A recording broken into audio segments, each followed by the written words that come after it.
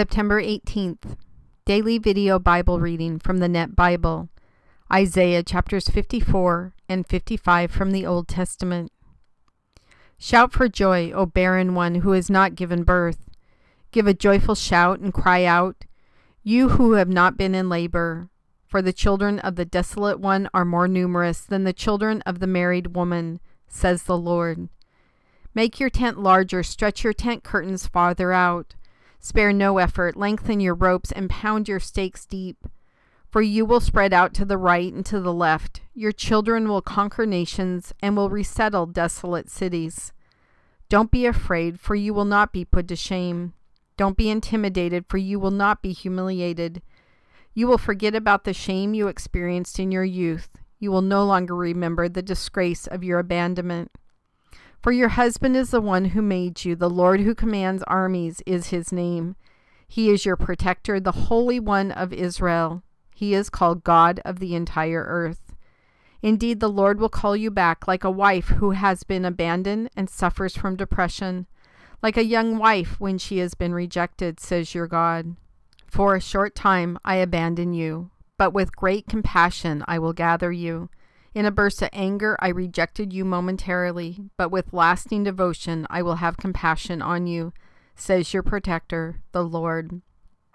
As far as I am concerned, this is like in Noah's time, when I vowed that the waters of Noah's flood would never again cover the earth.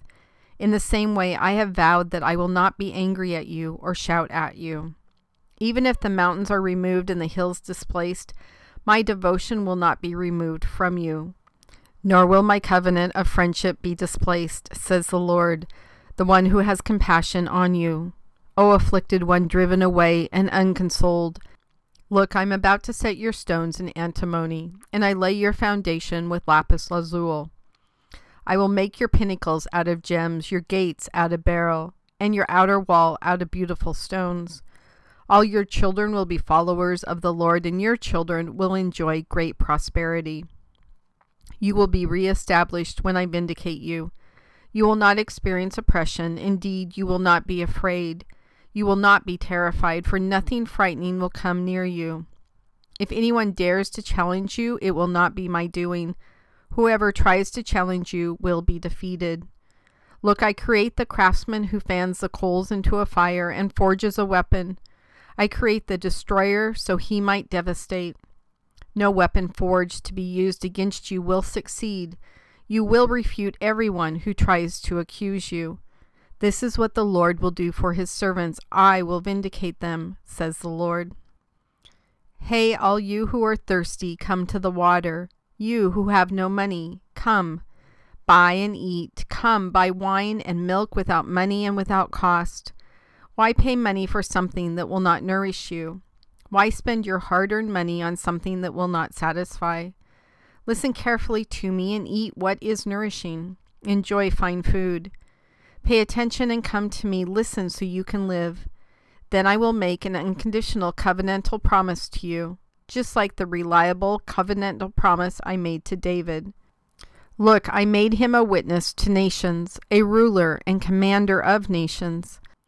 Look, you will summon nations you did not previously know. Nations that did not previously know you will run to you, because of the Lord your God, the Holy One of Israel, for he bestows honor on you. Seek the Lord while he makes himself available, call to him while he is nearby. The wicked need to abandon their lifestyle and sinful people their plans. They should return to the Lord, and he will show mercy to them and to their God for he will freely forgive them. Indeed, my plans are not like your plans, and my deeds are not like your deeds. For just as the sky is higher than the earth, so my deeds are superior to your deeds, and my plans superior to your plans. The rain and snow fall from the sky and do not return, but instead water the earth, and make it produce and yield crops, and provide seed for the planter and food for those who must eat. In the same way, the promise that I make does not return to me, having accomplished nothing. No, it is realized as I desire, and is fulfilled as I intend. Indeed, you will go out with joy. You will be led along in peace. The mountains and hills will give a joyful shout before you, and all the trees in the field will clap their hands. Evergreens will grow in place of thorn bushes, firs will grow in place of nettles. They will be a monument to the Lord, a permanent reminder that will remain.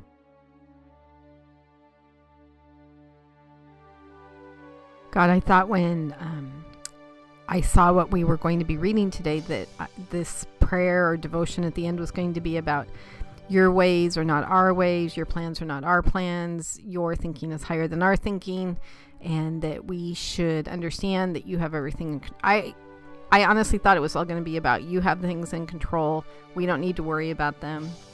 But there's a verse right before it that honestly, all the times I've read Isaiah, I've missed this completely.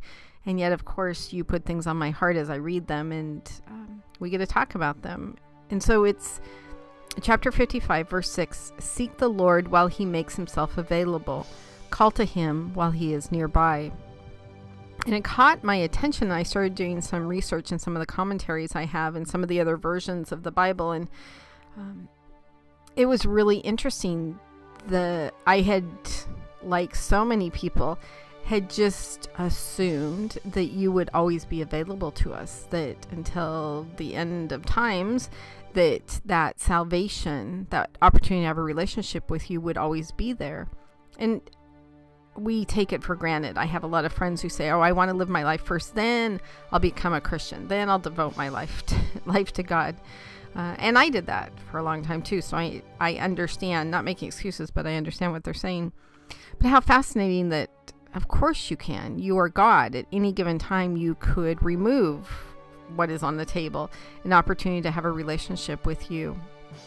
Um, with any of us, you could remove that opportunity.